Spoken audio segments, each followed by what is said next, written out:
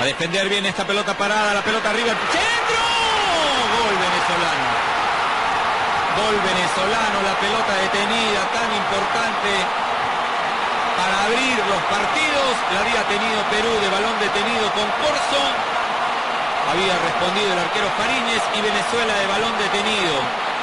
Iba a ser gol en contra, el travesaño devolvió la pelota y apareció el número 3, Villanueva. Villanueva, uno de los centrales para adelantar a Venezuela en 23 minutos.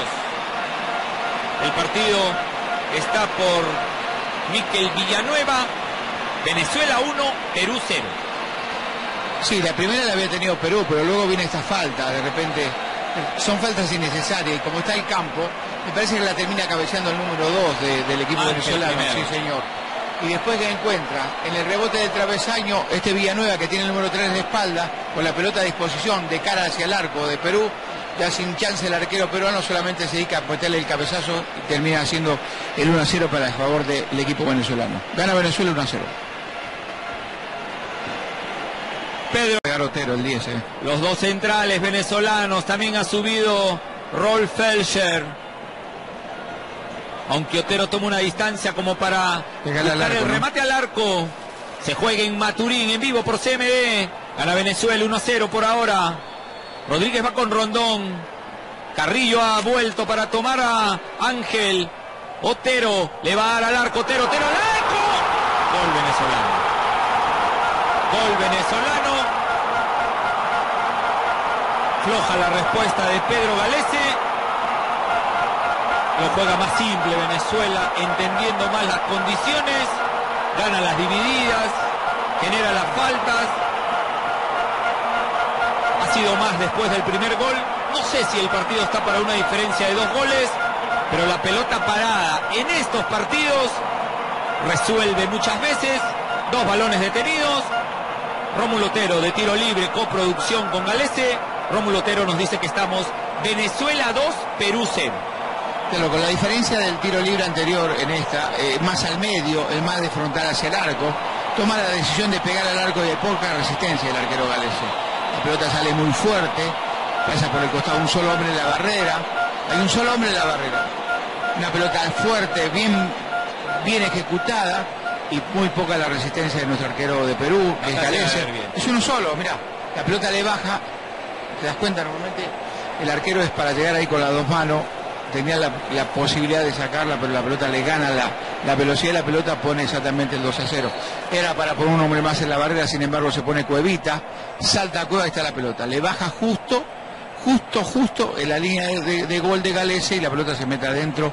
Poca resistencia al arquero. 2 a 0 gana el equipo venezolano. El algodón, por eso. La va a buscar Edison Flores, Carrillo, la tiene de nuevo, Edison Flores superó a Felser, sigue Edison Flores, ir. pasó Flores, ataca Perú con cuatro, se viene el equipo peruano por el descuento, aquí está Carrillo, está Carrillo, gol, gol, gol,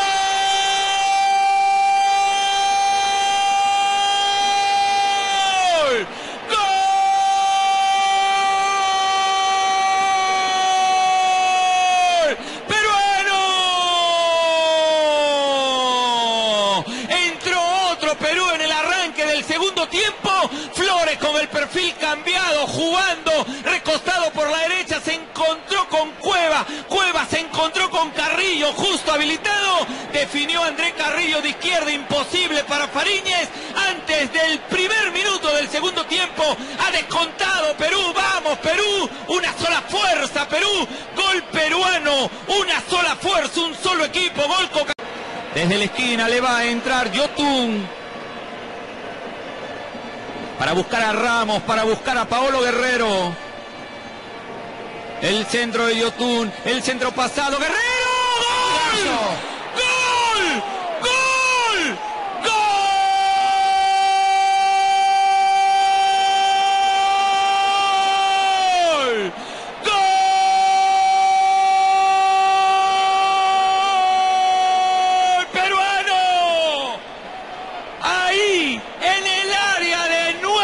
Apareció Paolo Guerrero. El guerrero que no debe tener reposo. Apareció el goleador peruano, el centro de Yotun. En la pelotita parada, siempre la pelotita parada. Se elevó muy bien Paolo para guardarla en el rincón. Paolo lo vamos, que falta una vida todavía. Una sola fuerza, Perú.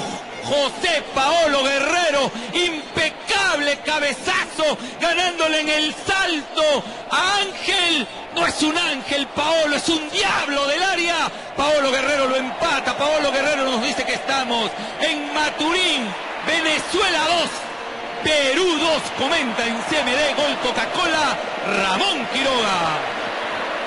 Primero felicitar a, a, a que tira la comba hacia afuera y Paolo le gana a